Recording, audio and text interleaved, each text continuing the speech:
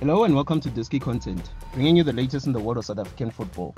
According to reliable sources, Kaizer Chiefs officials that have been regarded as arrogant are making Njabulo Blom's contract renewal difficult.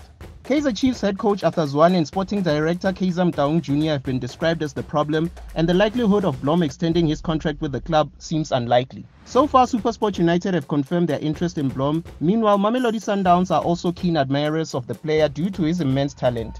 And elsewhere, the wait continues for Ndumiso Mabena at Orlando Pirates. The veteran striker is yet to sign a deal with the Buccaneers, who are relaxed about the player's situation at the club. The 35 year old has impressed coaches Jose Riveiro and Sergio Almenara with his work rate and ability for dead ball situations. Thank you once again for tuning into our channel. Make sure you like and subscribe for all the latest happenings in the DSTV Premiership. For Diski content, I'm Tevacho Mati.